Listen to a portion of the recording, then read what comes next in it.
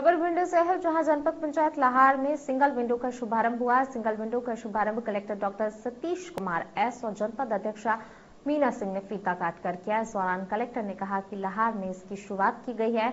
यदि इसका परिणाम अच्छा आया तो इस सुविधा को पूरे ज़िले में लागू किया जाएगा। वहीं इस मौके पर लाहार जनपद अध्यक्ष मीना सिंह ने अपने उद्बोधन में कहा कि जनता को किसी प्रकार की परेशानी न हो। इसके लिए जनपद पंचायत में सिंगल विंडो का शुभारंभ किया गया। जनपद पंचायत से संचालित सिंगल विंडो पर 20 योजनाओं के आवेदन यहाँ लगा सकते हैं। वहीं कार्यक्रम में आभार प्रदर्शन और संचालन जन अभियान परिषद के विकास खंड समन्वयक सुनील कुमार चतुर्वेदी ने किया।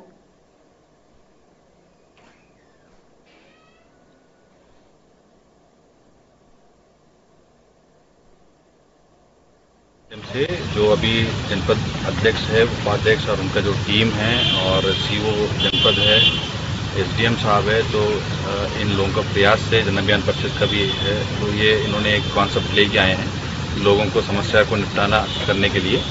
एक सिंगल विंडो सिस्टम एकल खिड़की का हो, क्योंकि ग्रामीण अंचल से जो लोग आ रहे हैं, क्योंकि इनका लोक सेवा केंद्र भी जो मेन मार्केट एरिया से थोड़ा सा दूर होने से। एकल विंडो प्रणाली का जो यहाँ पे शुभारंभ हुआ, उसका एकमात्र उद्देश्य है हितग्राही मूलक योजनाओं में जो हितग्राही हैं, आवेदक, उन लोगों को कम समय सीमा में योजनाओं का लाभ मिल सके और ज़्यादा से ज़्यादा ये लोग लाभ उठाएँ योजनाओं का।